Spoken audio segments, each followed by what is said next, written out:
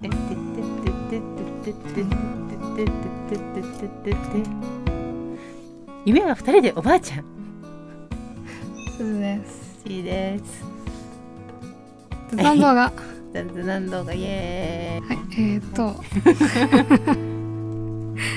雑談動画の2人の動画の3問目ですです今日のお話は、はいまあ、今まで言った中含めて助けて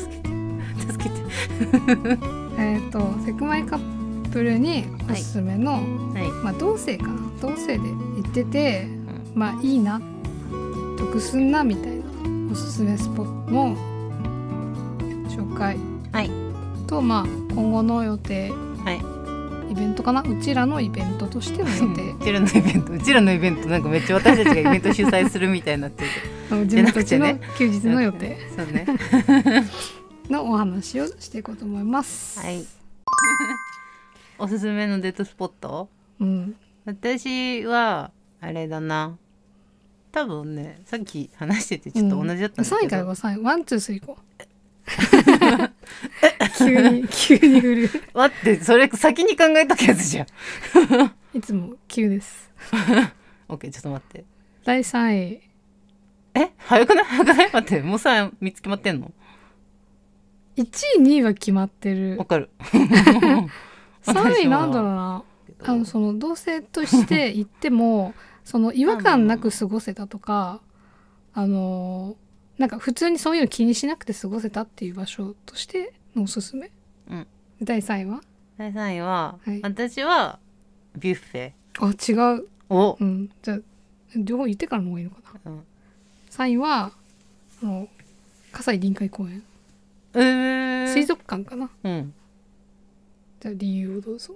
なんかあのビュッフェってさ、うん。ビュッフェっていうかあれかな？アフタヌーンティーとかスイーツ系のビュッフェ、うん。結構男の人同士あまあでもそっか男の人同士だと行きづらい？あービュッフェね。そうね。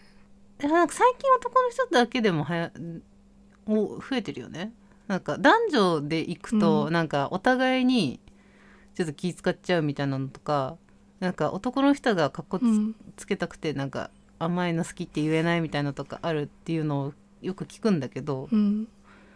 かっこつけたくてっていうかなんか甘いの好きとかなんかうまくなんか言えない行きたいって言えないみたいなのとか聞くけど、なんか割と同性同士だとうん。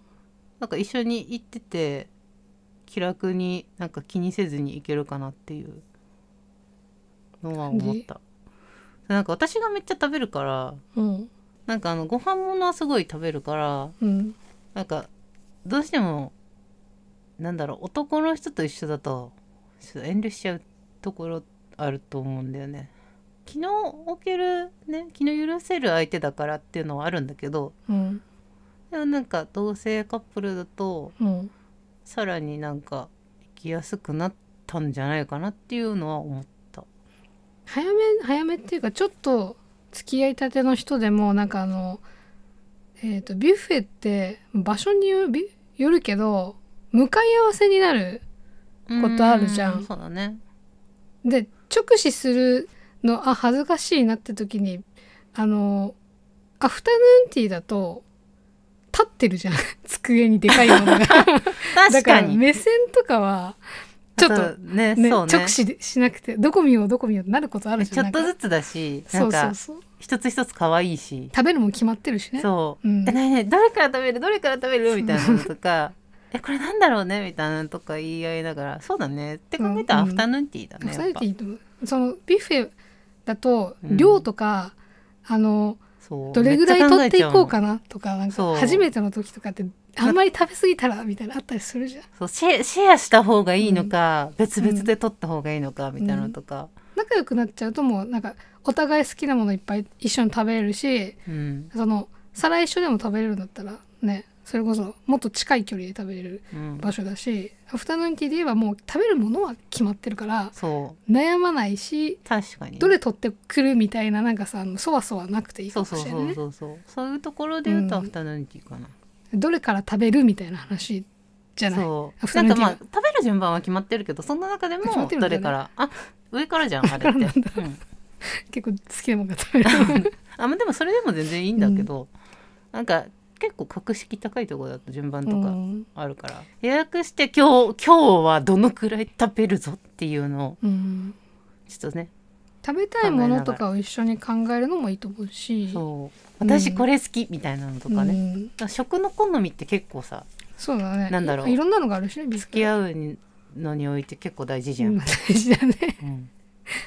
そういうのを探すのにもまあいいかもしれない。うんあとなんか食べ方の綺麗汚いとかね。ここの人くちゃらだなみたいなのとか。そこら辺のなんか同性異性気にせずいけそうっていうところの。同性のカップルでも別にね。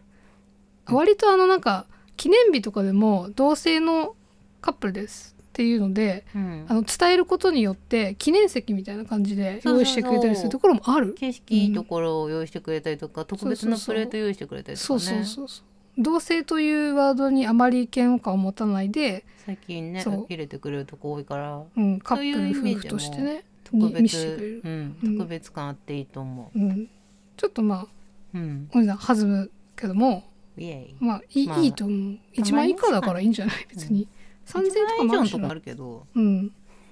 それでもやっぱその値段相応に楽しめるから、まあでも高ければいいってわけでもなかったしね行そうなのよ。ね。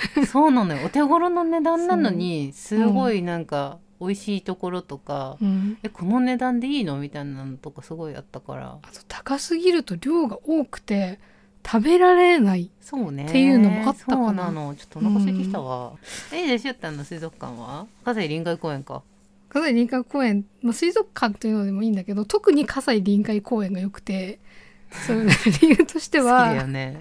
あのマグロが見れるんだけど葛西臨海公園は。で結構広いの。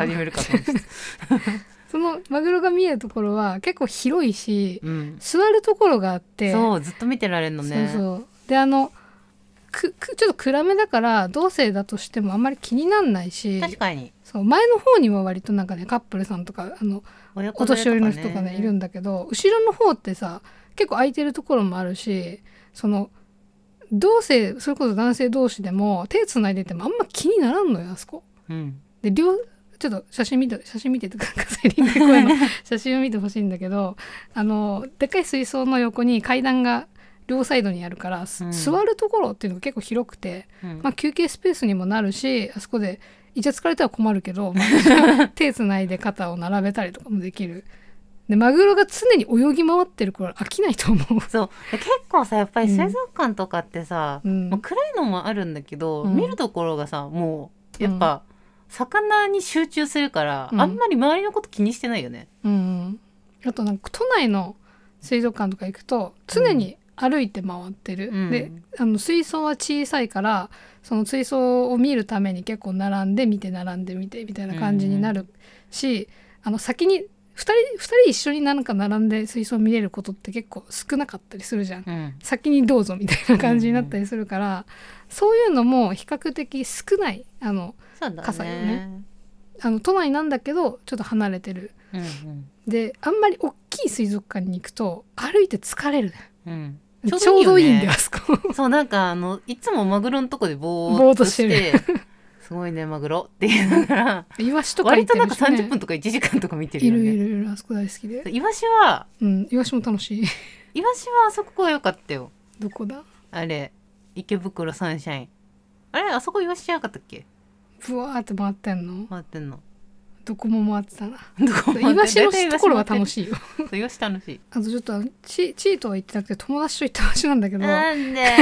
なんで？今度い行こう、ね、潮干狩り。あ違う違う。あ違うの？の葛西臨海公園の えーとキャンプした場所があるじゃない、うん。なんかその広場があるんだけどまっすぐ行くと海の近くに、うん。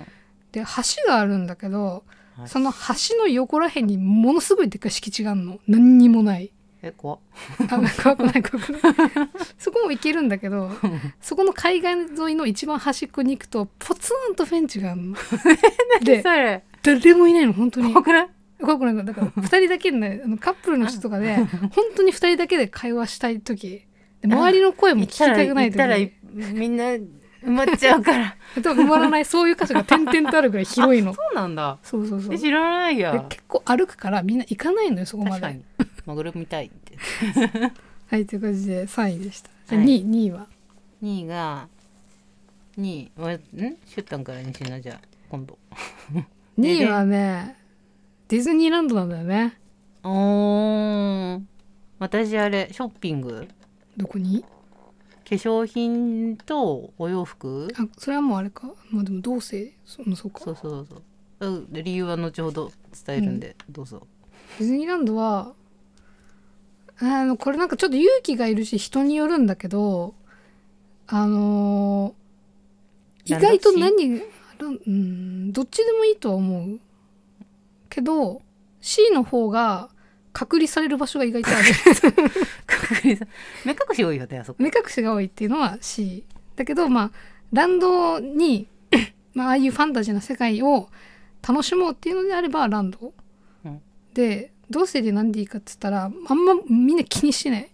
うん。意外と気にしてるんだろうな周りはドキドキって多分最初思うとテ思うんだけど。ーマパークがねやっぱそのさっきの水族館もそうだけど。みんな自分のことに必死だから意外と気にしてないねうんでそわそわ言われたとしても多分本当に一瞬の出来事だからあの二度と会わないだろうしね。二度とは思わない。あとはそのなんか嫌なことがあったとしても結構キャストさんが同性の人に関してあのー寛容？だと思うね。キャストさんも気にしてないよね。気にしないで同性の人これもそうなんだけどあの同性のカップルでみたいな恋人が恋人に渡すんですみたいなことを言ったとしてもあのあ同性の？ってちょっと気まずく言ったとしてもあそうなんですね。っつってなんか本当に同じように接してくれるからそういうところで、うん。なんか優しさを本当に人の優しさを感じられると思う。ディズニーね同性婚もできるからね。同性あそうだね。の挙式がねそうだねできるようになったから、多分そういうところでもね、うん。あんまり偏見はないかな、そう他より。特にあのホテル泊まる時、まあ、ちょっと値段は高いかもしれないんだけどホテルうん。泊まった時のサプライズとかも結構親身になってやってくれるしね。そう本当にカップルとして扱ってもらえるところがある、ね、記念日でね、うんおめおめでとうってやってくれるもんね。そうそうそう。そうなんかあのカップルでとかやっぱ夫婦でっていうとさ男女っていうところからの説明から始まるんだろうなみたいなのあるとあるじゃん。うん。なんかそれがちょっと嫌になる時あるんで毎回毎回知ると、うん。でもそれもなんかカップルで同性のカップルでっていう一言で終わったりとかうん。素敵ですねっていう風にあの思ってもらえるところあるから、うん。なんかやっぱそういう体験ができるのでいいなって思う。まあね、なんか他のところでもうん。断られたことは特にないんだけど、でもディズニーはやっぱりそういうところでも、うん、あの伝えやすいところがすごいあるね。あそう伝えやすいところがあるね。うん、なんか安心して言える感じ。うん、という感じです。うん。ははい。い、2位のショッピングは？私はあれあの化粧品メイク道具好きだからうん。メイク道具一緒に見てもらったりとか一緒に選んでもらったりとか、うん男の人ってなんか分かんなかったりするやんそうだね。男の人っていうかなんか、まあこれはレズ異性だとの人かな。ビャン？ビアンさんにのまあおすすめ。でもまあ最近男の人でも化粧するじゃん、片方がし両方してればねってことでしょ。まあ、でもどうなんだろうね。そうでもさ自分のなんか好みを伝えることもできるだろうし、うんなんかまあ好みを伝え合えるっていうのはいいですそう、ね。あとちょっとプレゼントのさあこうあこういうの好きなんだっていう、うん。ちょっとこうなんだろう知ることもできるから、自然に知れるよね。うん、あこのこのブランド好きなんだみたいなのとか、あこういう色好きなんだっていうので、うん。ちょっとこうプレゼントを選びやすくなったりするのもあるしうん。あとやっぱ同性だからこそうん。体格、まあ私たちが体格似てるからっていうのもあるんだけど、うん。あと服装の好みとかも似てるからうん。服ちょっとこう貸し合ったりとかうん。なんか選び合ったりとかもうん。しやすい、男性女性だとちょっとなかなか割と、まあそうだね。そうなんか好みぶつかっちゃったりとかうん。なんか何選んだらいいか分かんないみたいなとかなんかうん。自分が選んでる間待ってもらうの申し訳ないとかって結構あるから。ショッピングしてる時のアクセサリー化粧品に関してはあのお店の外に彼氏さんとか旦那さんがいるタイプの人多いもんね。そうだからなんかそれすごい申し訳ないなって待たせちゃうの申し訳ないなってなっちゃうから、うん。それよりは一緒に見てくれる一緒に見てもらえうるっん、ていうのが、同性の方が強いのかなっていうので。下着とかそうかもしれないね。そうだね。下着はそうだね。サイズ感とかね色味とかそうだね。ちょっと見てく、うん。もらうのにさこれどうかなっていうので、やっぱそうね下着は入りづらいもんね。ってなんか口コミとかでもよくある。うん。けどまあ同性に関してはそこら辺スッと入れるっていううんうん。良さはあるかもね、ね、プレゼントしても嫌味じゃないしね。そうだね。嫌味なの？ああ男性が女性に送ったらってことね。なんかあこういうの着てほしいんだって。なんか 女性もあるんじゃないの？なんかお互いになんかちょっとこ これ着てみたいな。るある。え？ティーバッグとか紐とか送られたらちょっと困るかもしれ送ったことなかったあったね。一切一回二回履いてなんかもう使いづらみたいな感じ。めっちゃ食い込む痛いみたいな。紐はちょっとなんか使いづらかったよね普通に。嫌だし。紐うん紐無理。ひ 紐履いてる意味ないしな。ちょっと好きな人がいたらごめんけど。まあ化粧品はそう化粧品ね最近私がちょっとね、よく見に行くんだけど一緒に選んでくれたりっていうのがあって。動画最初うちのやつで話したんだけど化粧品ほぼ選んでもらってるからこれがいいんじゃないみたいな楽しいの。あと私がシュタンメイクしてあげることがあるから、そう結構してもらってる。そうだから肌に合うものを一緒に選んだりとかっていうの大事だから、うん。うん。そういう意味でもね。片方が本当に化粧苦手とか嫌いとかって人でも結構一回一緒に行ってみてその合うのを探してあげるっていうデートもいいかもしれないね。そう自う分んに無理に強制的にうん一緒に化粧しようじゃなくて、私が化粧したいからちょっと付き合ってくれないっていうので、うん付き合ってもらうのとかもすごい楽しい。うちは本当にその化粧がそもそも嫌だったからそれをししてくれたりとか、まあ、これおすすめだよみたいなのがあってうん行くようになったってタイプだから特に苦手な人は一回その自分がその相手がおすすめするものを許容してみるのも新たな発見というかね、いいんじゃないいいデートになるんじゃないかなとは思う。あとデパコスとかだとさ一、人で行きづらかったりするじゃん。BA さんにどうやって聞いたらいいのかなとか、うん。あると思うんだけど2人だと割とちょっと心強かったりするし、うん。ひもうなんか片方が化粧品ちょっと好きだったりすると、うん、さらに入りやすかったりもすると思うから、うん。うん、る1位は位は。ルルルルルルね、うん、温泉お風呂これは1位やなそうちょっとね地元にねあの、うん、気軽に行けるまあでもどこの市でもスパはあるでしょあるの ?CA の、うん、CA スパはあると思う付き合いたてはちょっと分かんないんだけどその付き合っまあ、同棲したりとかまで来た人からするとあの男女って別れてお風呂入るっていうのがあってうん、なんかそれがつまんなそうってうちはずっと思ってたんだけど付き合いたてだと逆に別々に入った方が安心感はあると思うんだよね。最初に選ばないでしょ温泉。うん、同棲ね。なんか多分ね下心ある人は行きたいと思うんだよね温泉。行くのかな。行く？だって割と漫画とかでない？温知らん泉そんな漫画読んだことない。温泉行こうみたいな。初回で温泉するやつはちょっと。あ初回はないよ。初回はなんかお泊まりとかでお泊まりの時にお風呂し入る入らない問題。